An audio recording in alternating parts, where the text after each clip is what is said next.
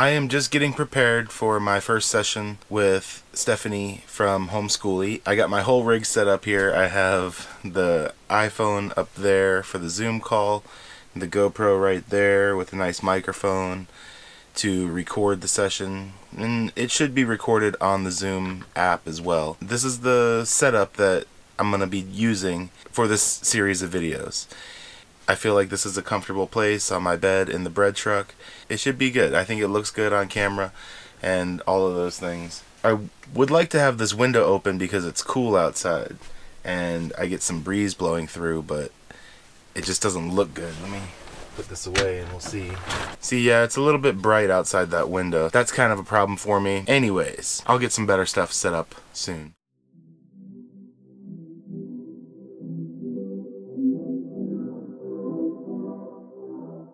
I'd like to keep the sessions. I, I was thinking if we do these weekly, let's do 15 minute sessions.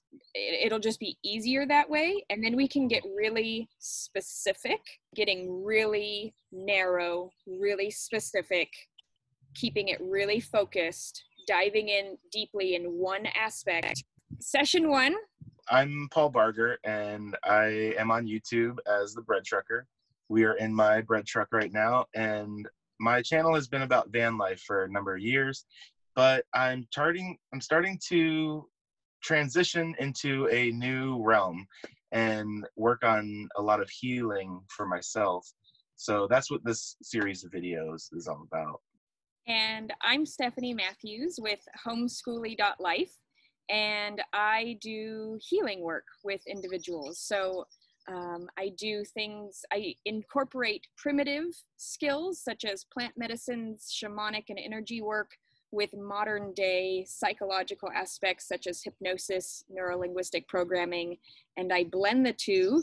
And Paul has so graciously um, stepped up to be a part of this process and be willing to share it with the world as he so generously does with so much of his life.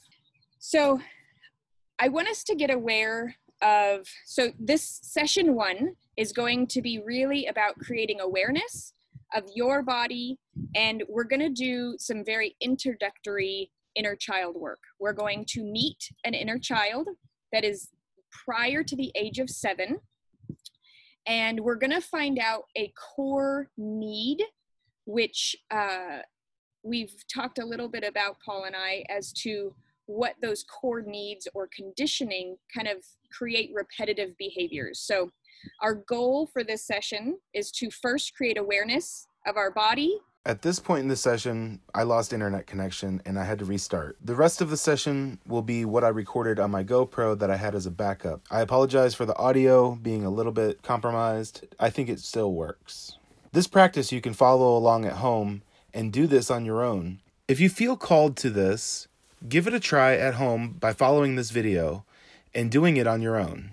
All right, so I'm going to have you rub your hands together. This is just a really uh, simple physical way to kind of just start feeling uh, our bodies, our emotions, uh, where we begin, where our energy literally begins, and where um, our emotions start. So there's just rub them together as fast as you can and start feeling that fire.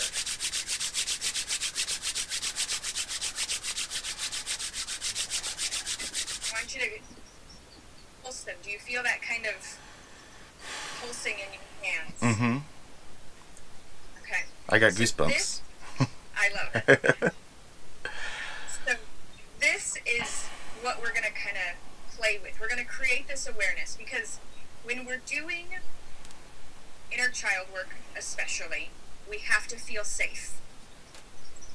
And a lot of times, the reason we have trauma to begin with is because we didn't feel safe.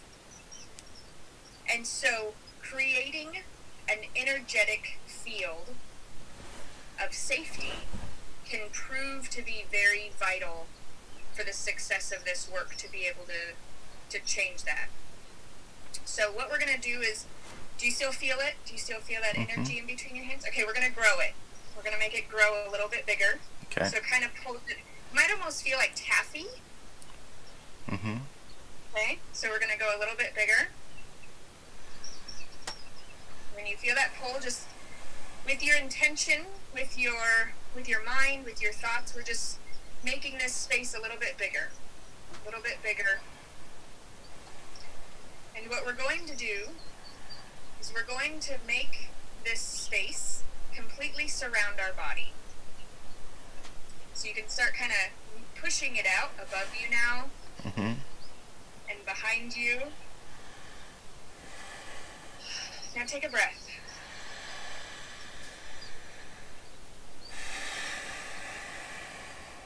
You're in this little cocoon now.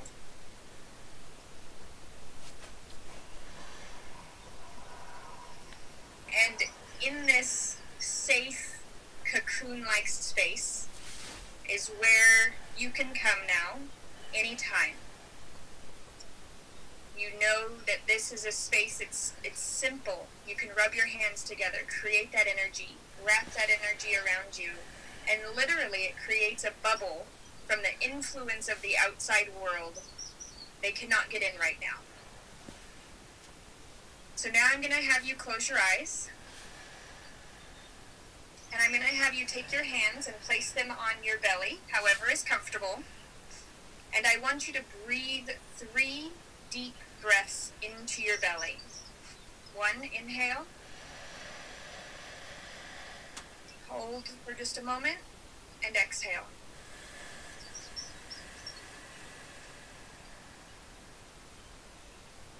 Inhale. Hold and exhale. Inhale. Hold and exhale.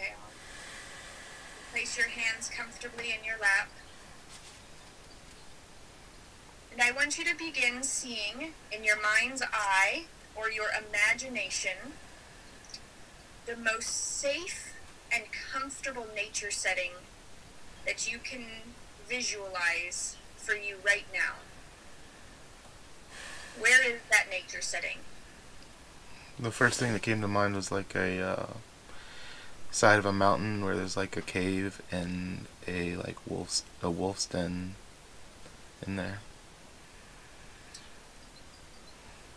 Are the wolves inside of that den? No. Okay. Is there anything that feels unsafe about going into that cave? No. Okay, perfect. So, you are on the side of a mountain and there is a cave before you. I want you, just as we did a moment before, to, in your mind's eye, take that same energy that was created in your hands and put it up into the front of that cave opening. And you're going to take and create the energetic space of complete safety. And when you're ready, step into that cave. Okay. Now, there may be some light from outside, but as you get deeper into the cave, it is going to become darker. As you walk through this cave, I'd like for you to see some sort of uh, device to make light. It can be a candle, it can be a torch, it can be a, a flashlight. Uh, what is your device to create light in the cave? A candle.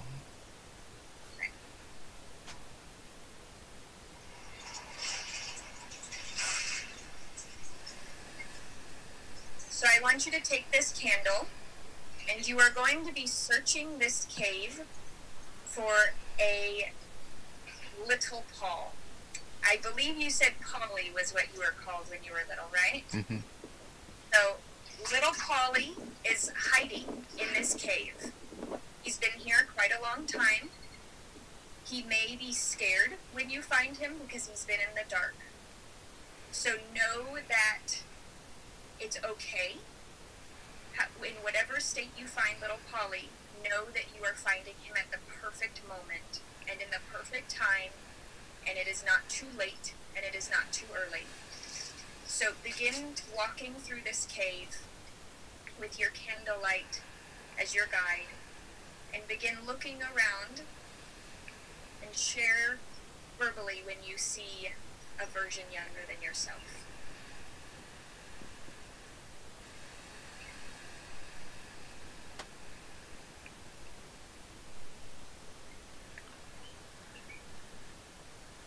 Okay.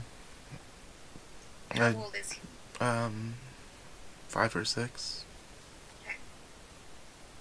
I would like for you to ask Polly, what what does he need right now?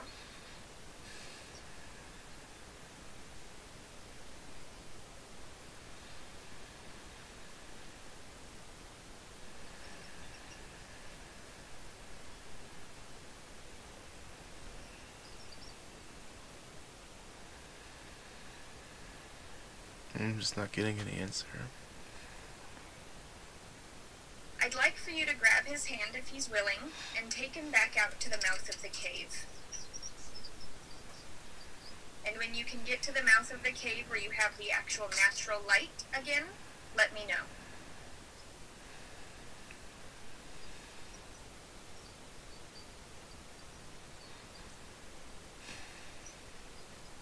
Okay. Now I'd like for you to sit down cross-legged, crisscross applesauce or Indian style, whatever it was called when you were little, and face each other. And I want you to ask Polly, and if he needs to send you a image in your mind of what he needs, he can do that too. It doesn't have to be words. So I'm going to ask him again, what does Polly need?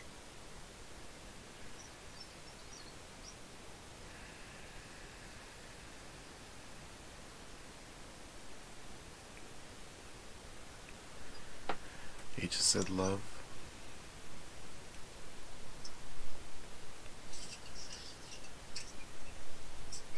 how would he like to how would he like to um, experience that love?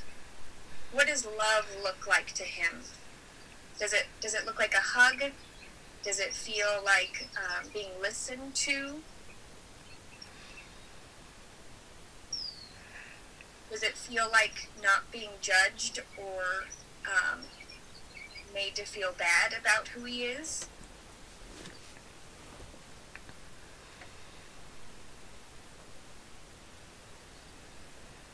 It's um being like being seen and being heard. Yeah. So I want you, as you are in, as you are right now in this moment, to really look at him, really look at him.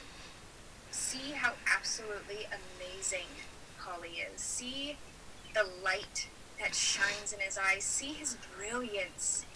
See how creative and incredible he is. Really look at him and the overwhelming amount of love that you have for that little version of yourself.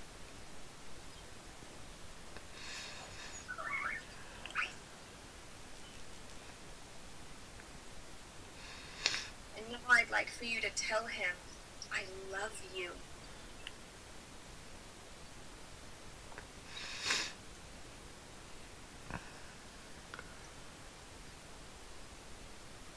Does he feel um, a bit? Does he feel whole to you, or does he feel like he's a bit broken or traumatized already? He feels a little unwhole. Okay. So, would you let him know that you guys are gonna heal and become whole together? that he's not gonna have to do, he's not sitting in the darkness alone anymore. He's not doing this by himself anymore.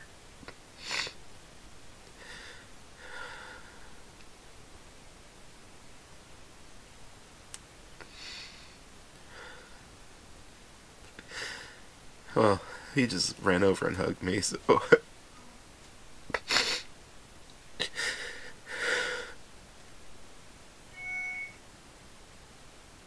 Yeah, there was a little bit of hesitation of of trusting you at first. And him coming over and hugging you has reunited a very lost and scared part of you that is now reconnected.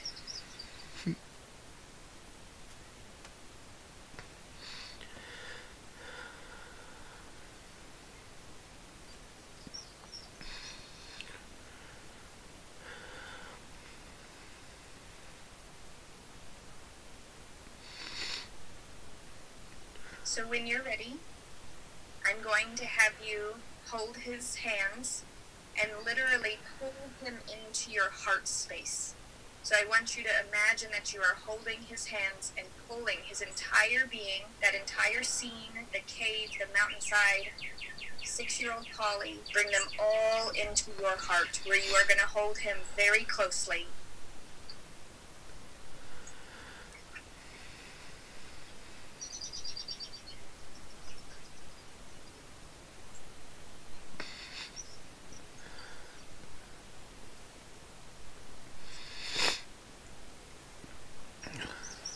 And when you feel complete with that, and you're ready, you can open your eyes and flutter your eyes and come back to this moment.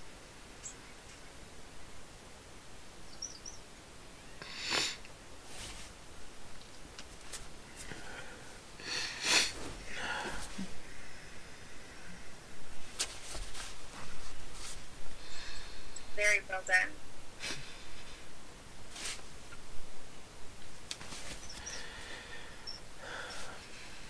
Thanks.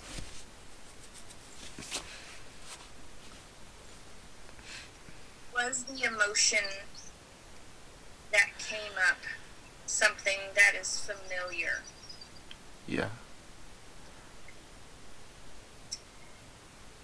And can you see that that six-year-old Polly's need for love has expressed itself in different circumstances in your life? Mm-hmm. Yeah. And so I'm going to make you sit with that emotion and that awareness of that seeking out that love until our next session. You've been dealing with this feeling for 40 years now. You can hold on to it for another week. Mm-hmm. Because what I'm going to have you do is really feel it.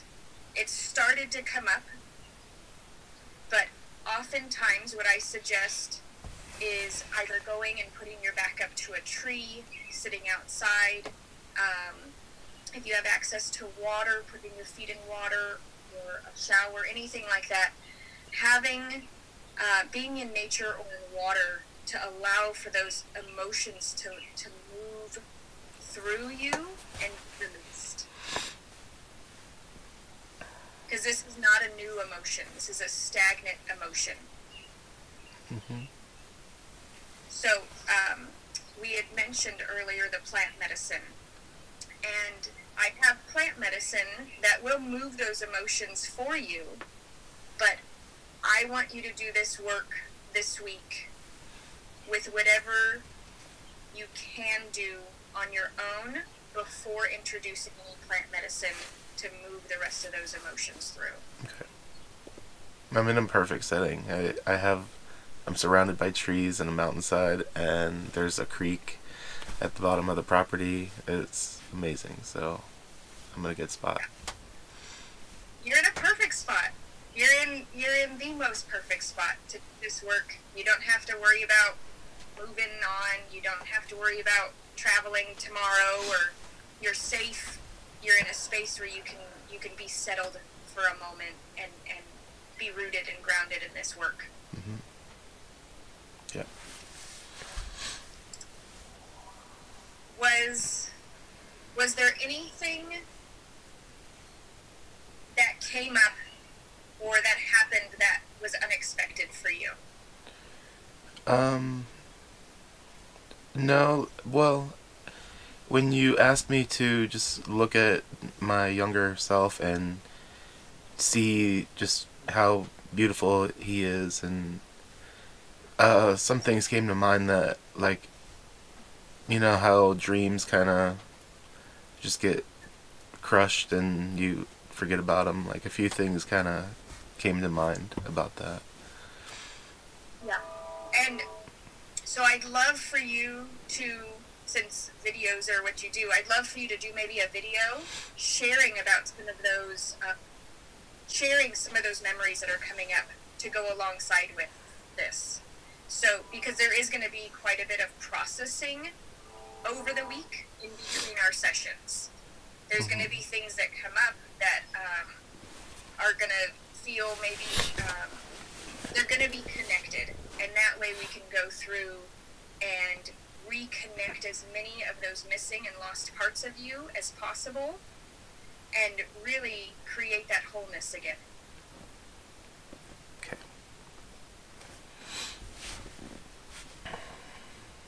Yeah. Well done. I didn't feel like i did much. So good um, sometimes creating that awareness, finding that. So, the first little child that we find is the gateway child. They are the keeper. They will come to you because they're brave enough, they're strong enough, they're tough enough, and they protect all the other children. So, this gatekeeper child is very important to create a deep, meaningful bond with. So, it's okay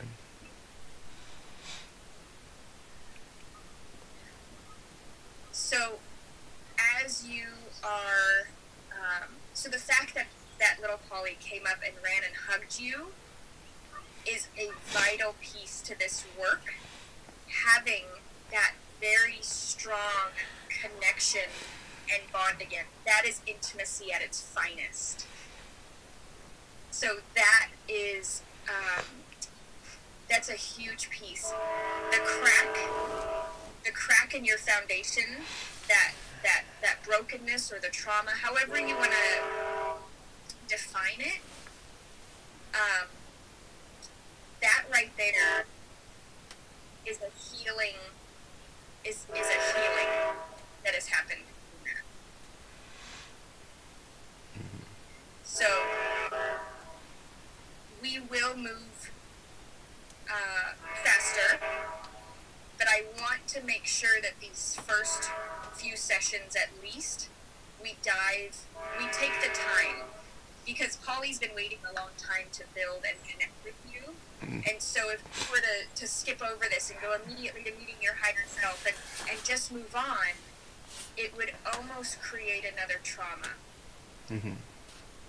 And so spend some time with Polly. Ask him what he wants to do this week. See if he wants to go play in the creek and go look for tadpoles or see if he wants to go climb a tree. Whatever Polly loved to do at six, I'd love for you to incorporate a few of those things into your into your week this week. So that's kind of your homework this week. all right yeah Right. I've never been very good at homework but i'll do it Uh, play work. How about that? It's all it's all play work. Mhm. yeah, there's got to be another name for it. The things that you get to do to integrate. How about integration? There we go. yeah That's your integration for the week. mm-hmm. okay Yeah. Do you have anything that you'd like to share?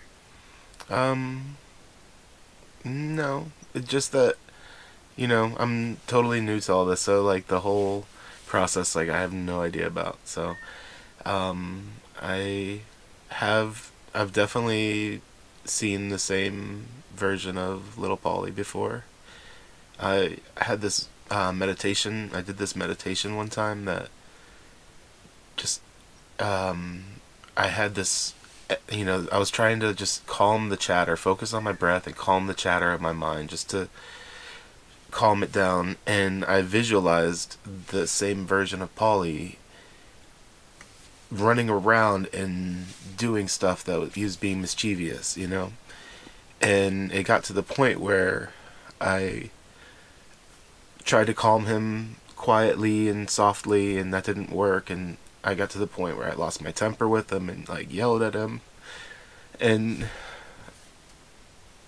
at some point, he stopped, and I could just see him like curled up in this in this corner of the room sleeping.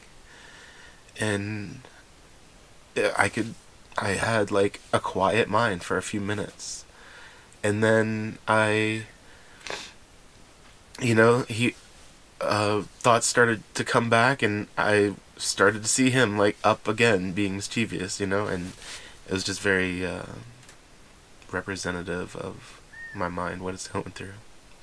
So I don't know. Yeah. I think that's so perfect because what a different experience you had this time. Intentionally seeking him out, intentionally focusing on his needs versus your needs. Mhm. So your needs will come, but you have to focus on the sabotager, which is Polly. Mm-hmm. Yeah. He's the one creating all the ruckus, all the Yeah. all the mischievousness, all of the doubt, all of that. So as you begin to fulfill those needs, so much will fall into place. Yeah. Cool. I love that. Thank you for sharing that because I think that is a powerful example of um, we often try to control the same conditioning that we got yelling, anger, guilt, anything, you know, the way we were raised. We often try to treat our inner child or our subconscious or um, our inner child like that.